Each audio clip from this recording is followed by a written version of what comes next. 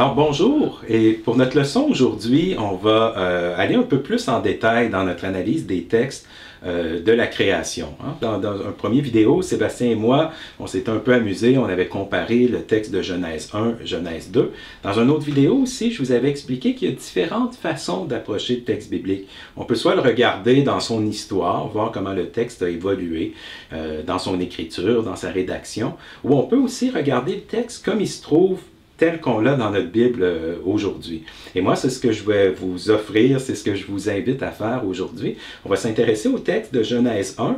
Et pour le comprendre, on va pas essayer de savoir qui a écrit ce texte-là, dans quelles, circonstances, pourquoi, mais on va regarder le texte en, en, tant que tel, on va regarder sa cohérence interne, et pour faire ça, on va regarder la structure interne du texte de Genèse 1. Et comme vous allez le voir, ce n'est pas un texte qui a été écrit euh, de façon aléatoire, un peu au hasard. Tous les mots sont bien choisis dans ce texte-là. On voit une, structure qui lui donne euh, un sens. Alors, je vais, vous inviter, pendant qu'on fait la vidéo, peut-être à garder votre, votre, votre curseur, votre souris pas loin du pause parce que des fois, je vais vous inviter à regarder le texte biblique, à y réfléchir, puis ensuite à continuer la vidéo pour voir où est-ce qu'on est rendu et, ainsi faire la recherche un peu euh, par vous-même. Alors, le texte auquel on va s'intéresser, c'est le récit sacerdotal de la création. Et ce récit-là, euh, et, quand on fait une analyse structurelle, bon, la, première chose à laquelle on porte attention, c'est les répétitions qu'on a dans le texte. On va regarder s'il y a des expressions ou des mots qui, qui reviennent, ou des fois, bon, des antonymes, hein, euh, des, des, contraires qu'on retrouve à travers le texte. Et je vous inviterai dès maintenant à faire une petite pause, peut-être trouver cinq phrases ou cinq mots qui reviennent souvent, euh, cinq expressions, cinq formules qui reviennent souvent à travers le texte et après, vous pourrez continuer à regarder la vidéo et voir si euh, ces, ces, éléments-là, ces répétitions que vous avez trouvées, si elles font partie des plus importantes, de celles qui donnent vraiment un sens, qui font partie de la structure euh, du texte et de son articulation. Bon, maintenant que vous avez trouvé donc ces différentes répétitions dans le texte, on va regarder ensemble la structure de ce récit, hein, comme on avait dit, qui s'appelle le récit, qu'on appelle le récit sacerdotal de la création. Donc, une des premières répétitions que vous avez pu identifier, qu'on voit assez facilement dans le texte, c'est il y eut un soir, il y eut un matin, xème jour. Donc, cette expression-là, cette formule-là, elle revient à travers le texte et elle nous permet de séparer le texte, donc les six journées euh, de la création, jour 1, 2, 3, 4, 5, 6 et de, lui, leur attribuer donc des versets. Hein. C'est très, très, euh, très, très clair. À la fin du verset 5, on nous dit il y a eu un, soir, un matin, donc on sait que cette journée-là se termine là. Ça nous permet donc de donner des versets à, chacun, euh, de ces, à chacune de ces six journées-là. Et ça nous permet aussi de, de voir qu'il y a évidemment un septième jour qui se trouve au chapitre 2 euh, du, du, du, du, livre de la Genèse. Donc, c'est un peu surprenant. C'est dans un autre chapitre. La division a été faite comme ça. Mais cette journée-là, c'est bien évident qu'elle fait partie euh, du récit sacerdotal avec les six journées de la création. Donc, ça nous permet donc déjà d'avoir une, une, structure de base. Et si on continue, donc une autre, un autre élément que vous avez pu identifier, c'est la répétition euh, du verbe, de, de, la, formule d'introduction, on pourrait dire Dieu dit. Hein, on retrouve ça constamment à travers le texte. C'est, euh, si on compare au texte de Genèse 2, Dieu parle pas tellement souvent, il, il agit beaucoup, mais ici, on, a cette formule-là, Dieu dit, qui revient très très souvent. Et ça nous permet, encore une fois, donc de les placer à l'intérieur de notre structure qu'on a déjà observée avec les il y a un soir, il y a un matin. Donc, on a un premier Dieu dit au jour 1, on en a un au jour 2, on en a deux au jour 3, on en a un au jour 4, un au jour 5, et on en a quatre au jour 6. Donc, cette, répartition des, formules Dieu dit, elles sont pertinentes et elles nous, elles nous, révèlent quelque chose à trois niveaux. Tout d'abord, on voit que toutes les journées, on a Dieu dit une seule fois, à l'exception de la journée 3, et de la journée 6. Donc la journée 3, il y a quelque chose de spécial, il se passe quelque chose de plus dans cette journée-là. Donc c'est la structure du texte qui est en train de nous dire de porter attention à ce verset, à cette journée-là. Et c'est encore plus le cas pour la journée numéro 6, pour le jour 6. Le jour 6, on nous dit quatre fois Dieu dit. Donc la structure nous dit clairement, portez attention, il y a quelque chose de spécial. Cette journée-là, on va voir tout à l'heure qu'est-ce que c'est exactement. La formule dieudienne nous permet aussi de remarquer une autre chose. Une deuxième chose, c'est que le jour 7 est un jour un peu spécial comparativement aux autres jours parce qu'on a, c'est le seul jour où on n'a pas de Dieu dit. Hein. C'est le seul jour où Dieu parle pas. Alors au niveau structurel, le fait qu'on a six journées où on a toujours Dieu dit, Dieu dit, Dieu dit, et pas le septième jour, ça vient porter euh, notre attention au fait que cette journée-là, c'est une journée différente des six euh, autres journées. Et il y a une troisième observation que cette toute simple formule-là, Dieu dit, nous permet de faire, c'est que le premier Dieu dit, il n'apparaît pas en Genèse 1, verset 1. Hein? Si on pourrait dire, mais la première journée, elle est au verset 1, elle apparaît, la première formule, au verset 3. Donc, sur le petit tableau que j'ai préparé pour vous, il faudrait faire la correction, hein? je l'ai fait euh, volontairement, changer le, le verset 1 pour le verset 3, parce que la création, elle commence au verset 3. Alors le jour, et le jour 1 commence au verset 3. Alors, qu'est-ce que ça, signifie, ça? Signifie que les deux premiers versets, si le jour 1 n'est pas encore commencé, eh bien, ils font partie d'une période avant le début, disons, de l'acte créateur de Dieu. Et on va, pour, pour se, retrouver dans notre observation, on va appeler cette journée-là le jour 0. Les versets 1 et 2 font partie du jour zéro, de ce qu'il y avait avant la création. Et les, euh, le, ça nous permet aussi cette, euh, le fait qu'il y ait un jour zéro avant la création et un jour 7 après la création, ça nous permet de faire un lien entre ces deux journées-là aussi. Et le lien, il est, euh, je vous dirais, il est, il est, renforcé par le fait qu'on retrouve dans chacune de ces deux journées-là, on retrouve un trio, le verbe créer, le nom euh, ciel et le nom terre. Hein, le, Genèse 1 commence en disant Au commencement, Dieu créa le ciel et la terre. Et on retrouve les trois mêmes mots à la toute fin du texte. Donc, ça crée un lien. D'abord, ça, ça, nous permet de savoir où commence le texte et où est-ce qu'il se termine.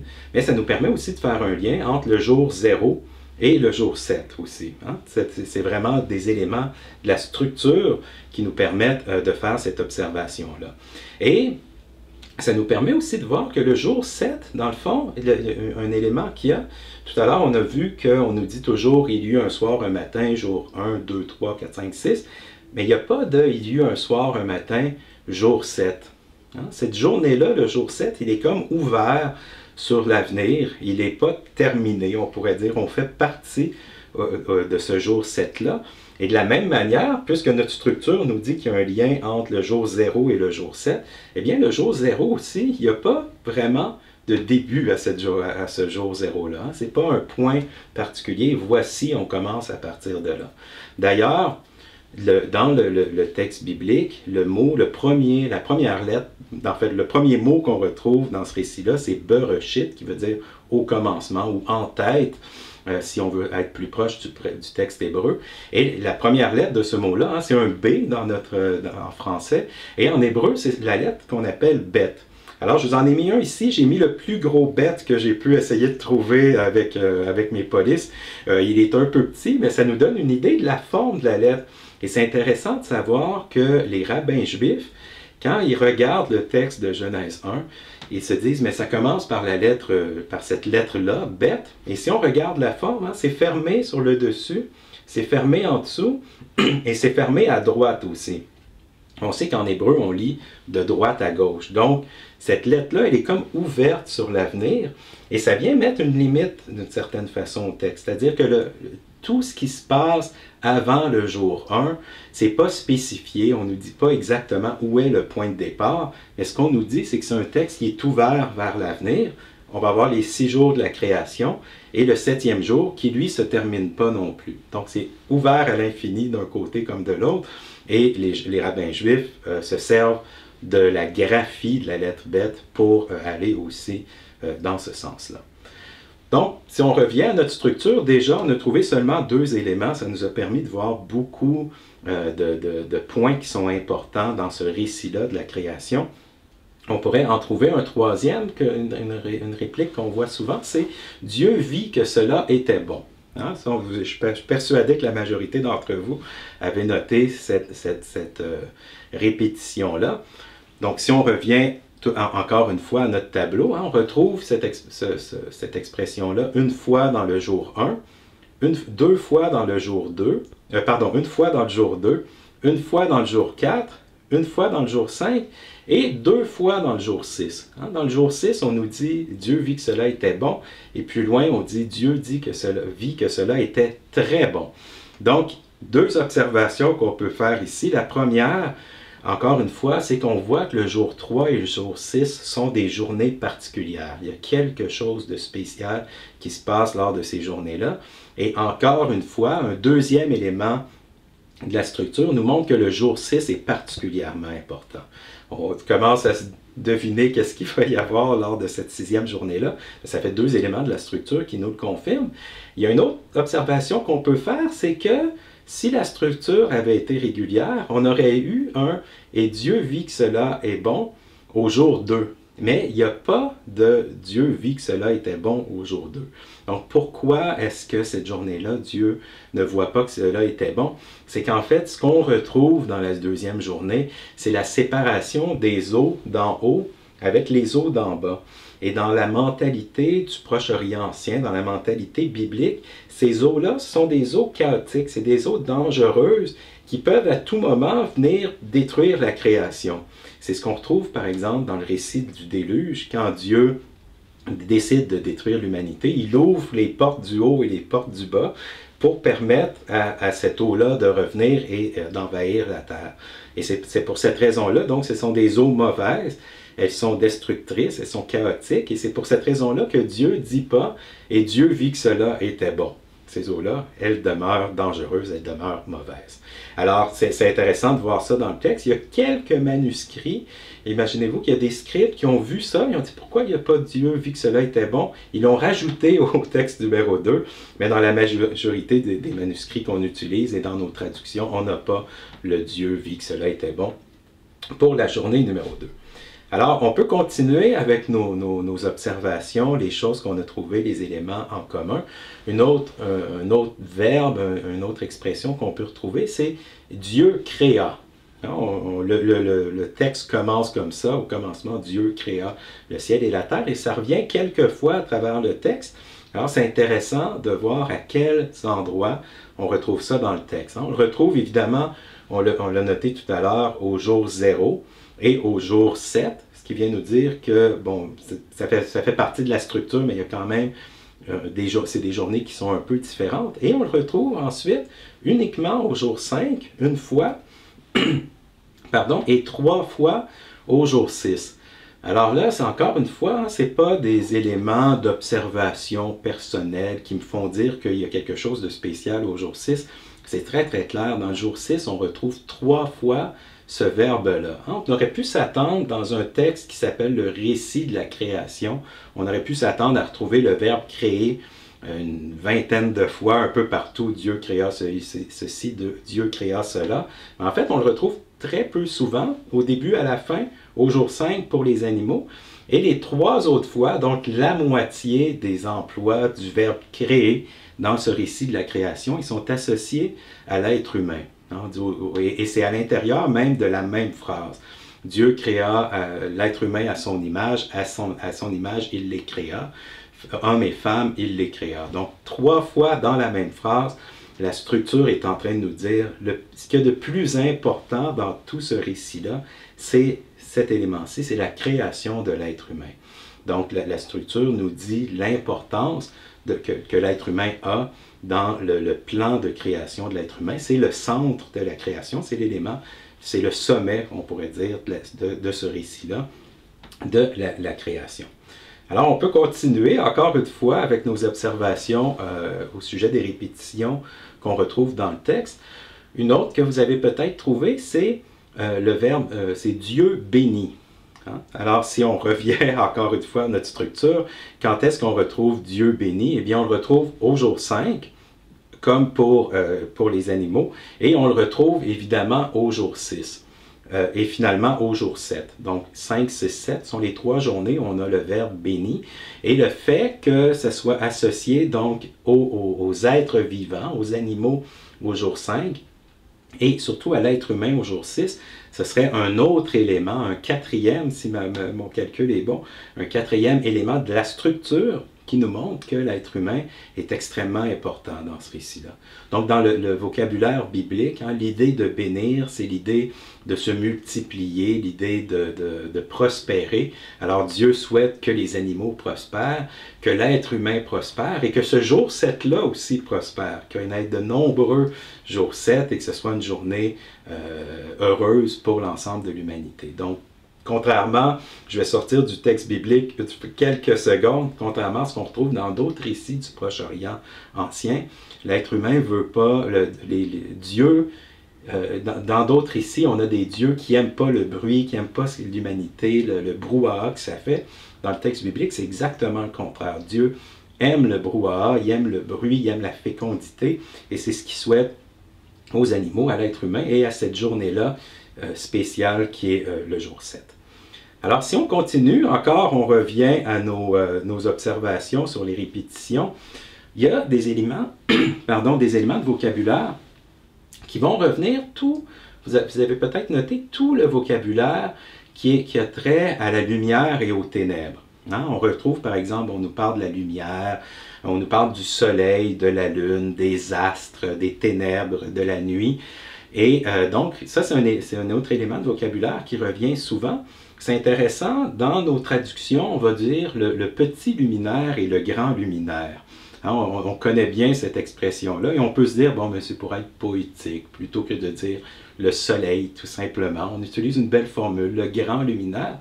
Euh, en fait, oui, ça donne un aspect poétique au texte, mais il y a une autre raison derrière ça, c'est qu'au Proche-Orient ancien, le, le Dieu euh, du soleil s'appelait le dieu Shamash. Hein? Et en hébreu, le mot soleil, c'est le dieu Shemesh. C'est la même racine, c'est pratiquement le même mot.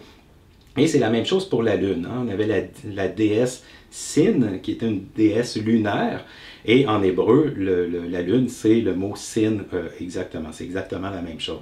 Donc, on a voulu, et les auteurs de la Bible ont voulu éviter de dire Dieu a créé Shamash et Sin, hein, créer d'autres divinités qu'il a placées dans l'univers. C'est un Dieu unique, donc ce qui est créé plutôt pour s'assurer qu'il n'y ait pas d'ambiguïté. On va parler de Dieu créé le grand luminaire et le petit luminaire. Comme ça, il n'y a aucune trace de polythéisme dans euh, ce texte-là. Alors, toujours est-il que ce vocabulaire-là, si vous aviez à prendre un marqueur et trouver à quels endroits on retrouve le vocabulaire de la lumière et des ténèbres, on s'apercevrait assez rapidement que c'est au jour 1 et au jour 4 qu'on retrouve tout ce vocabulaire-là. Alors sur notre tableau, j'ai décidé de transformer ces journées-là ici, les mettre en jaune. Donc ce sont les deux jours jaunes, les jours où on va parler de la lumière, des ténèbres, et où tout ce vocabulaire-là euh, revient. Alors, si on continue, d'autres éléments de vocabulaire qu'on peut retrouver, on a tout le vocabulaire qui se rapporte à l'eau. Hein, des mots comme les eaux, le firmament, le ciel, les oiseaux, les poissons, tout ce qui, est, qui, qui, qui, qui euh, qui, a un lien avec l'eau, on pourrait dire avec le ciel aussi, mais c'est normal, le ciel, c'est de là que l'eau vient. Donc, c'est un, un, endroit qui est associé à l'eau aussi. Et si on regarde encore une fois notre structure, on voit que tout ce vocabulaire-là, il revient dans les journées 2 et 5. Alors, dans le tableau que, vous avez sous les yeux. Je l'ai mis en bleu pour souligner. Ce sont les journées bleues, les journées qui sont associées à l'eau et euh, au ciel. Alors, je crois que vous me voyez venir pour la suite, pour le troisième, euh, une autre observation qu'on peut faire dans le vocabulaire. C'est tout le vocabulaire qu'on retrouve, vous vous en doutez, au jour 3 et 6 et c'est un vocabulaire très, très riche au sujet, euh, on pourrait dire, de, tout ce qui est euh, végétal. Hein. On retrouve des mots comme la terre, verdure, herbe, semence, fruits, euh, arbre, tout ces, ce vocabulaire-là se retrouve uniquement euh, dans les jours 3 et 6. Alors, dans le petit tableau que je vous ai préparé, évidemment, vous m'avez vu venir sûrement, je l'ai mis en vert pour souligner que ce vocabulaire-là se retrouve dans ces deux euh, journées-là. Alors, on continue avec euh, un dernier élément de vocabulaire que vous avez peut-être remarqué. C'est, on revient ici à Dieu, c'est le, verbe appeler. Hein, Dieu appela, oui, nomma quelque chose. Et si on essaie de voir dans notre structure où est-ce qu'on retrouve ce, vocabulaire-là, on le retrouve au jour 1, au jour 2 et au jour 3, pas dans les autres jours. Alors, c'est en train de nous montrer que dans notre structure, hein, il y a un lien entre le jour 1 et 4, un lien entre le jour 2 et 5, un lien entre le jour 3 et 6, mais il y a une différence entre ces journées-là. Hein. Dans une première partie, Dieu euh, crée, les, euh, crée les choses, on pourrait dire, il appelle les choses. Et il se passe quelque chose de différent dans les journées 4, euh, 5 et 6. Et, et, là, je vous poserai la question, vous pourrez mettre sur pause encore si vous le souhaitez pour réfléchir à ça, mais selon vous, quel est le lien qu'on retrouve, par exemple, entre le jour 1 et le jour 4? Hein, il se passe quelque chose dans le jour 1 qui est, on pourrait dire, complété dans le jour 4. Il se passe quelque chose dans le jour 2 qui est complété dans le jour 5, et il se passe quelque chose dans le jour 3 qui est complété dans le jour 6. Alors, vous pouvez euh, prendre quelques secondes pour y réfléchir, mais ce qui est intéressant, ce qu'on remarque, c'est que Dieu, dans les jours 1, 2, 3, il va créer des espaces. Hein. Il va créer, par exemple, le ciel et, euh, le, jour et la nuit. Bon, ce sont des espaces temporels, on pourrait dire. Il crée un espace, les, eaux d'en haut, les eaux d'en bas. Il crée un espace qui est la Terre. Et dans les jours 4, 5 et 6, il va peupler ces espaces-là qu'il a créés dans les jours 1, 2, 3. Donc, jour 1, il crée le, jour et la nuit.